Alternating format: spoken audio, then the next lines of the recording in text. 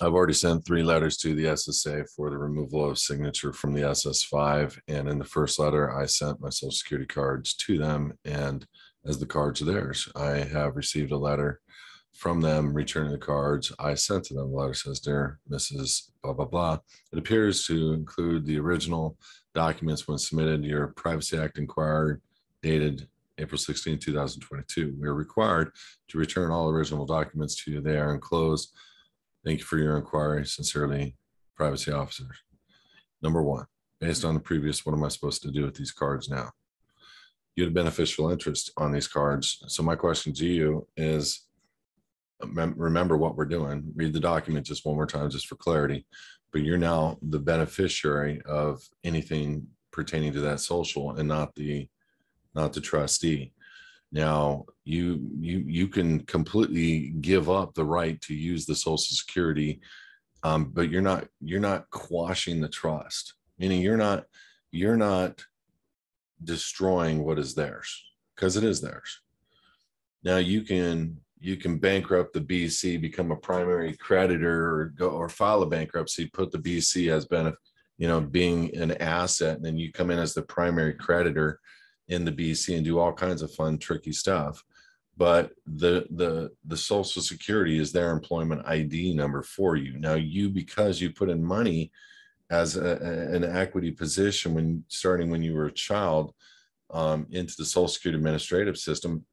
I, number one, I don't care when they turn it into a federal benefit or a tax or whatever. That has nothing to do with me. As a state citizen, my sweat equity went forward, and I'm going to be the beneficial interest position for that Social Security ID. I'm not going to use it.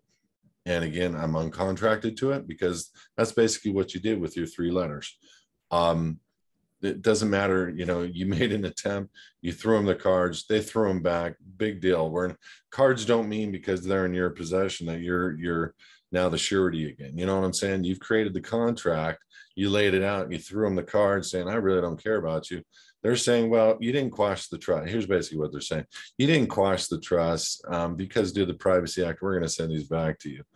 And and that's all they're doing.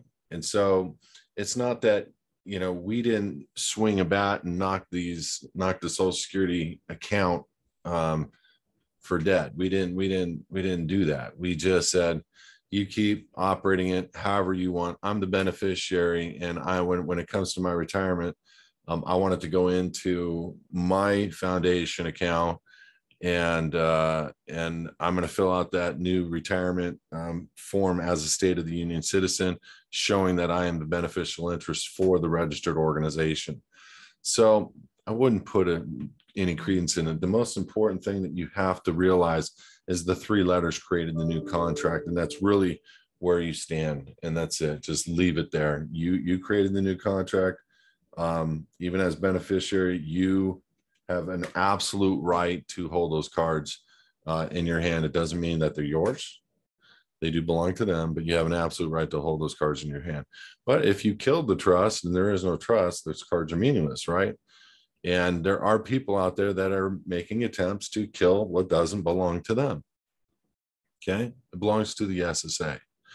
Um, the birth certificate is debatable and uh, not going to get into that right here but the birth certificate is debatable. And so there's ways that people that people are starting to work and, and have mass success at pulling the bc out of the public and into the private at the county recorders.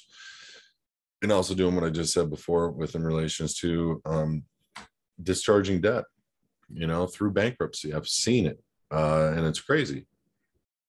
Bc is an asset. You list yourself as the primary creditor and uh, what happens? Do they get paid or do you get paid? Some people have done some pretty crazy things through bankruptcy court, hung up stuff in bankruptcy court, judges not knowing what to do. But that's your BC. What are they going to do? Admit that it's theirs and that's how they're paying these creditors through the BC? Well, if you're the primary creditor, there's there's just because of how you put it down on the BC when you made the pay, paperwork and the filing, there's assets and there's liabilities and and there's you know there's creditors and if you're the primary creditor on that asset piece, and um, what are they going to do? You know, it's it, it's all hell breaks loose. But that's that's a whole nother story. It's the the point I'm trying to make is there's things that belong to them that we got to stop acting like they're ours. The live born record that they took a picture of and put it on 32 pound watermark banknote paper and they're utilizing this as the birth certificate the abandoned certificate that's the um, that's theirs the live born record's yours. And so there's things that you could do to pull that and separate those. And and we're actually working on a series of different things. Um, it's not a priority for me. I just want to come out. And uh, but i don't i also want eventually to get to the point where we can just cut them off in their use of my live born record or my children's live born records to make themselves rich. So, but don't worry about it.